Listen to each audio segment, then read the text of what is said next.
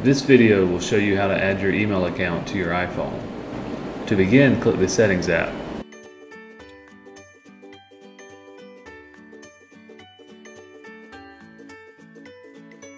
Next, scroll down the list to find the Password and Accounts menu.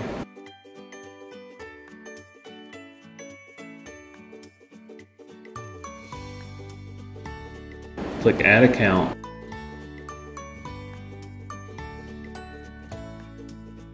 and select Exchange.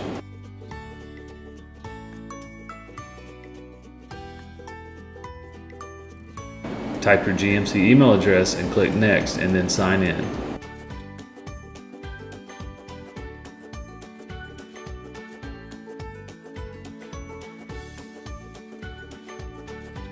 It will now have you sign into the GMC portal. Use your GMC email password and click Sign In.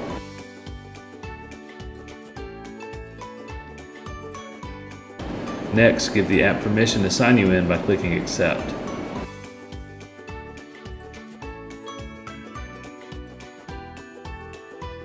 Click Save in the top right corner of your screen to finalize adding your account.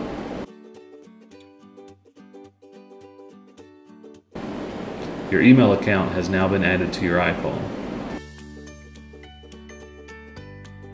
To check your email, click the Mail app and choose the mailbox named Exchange.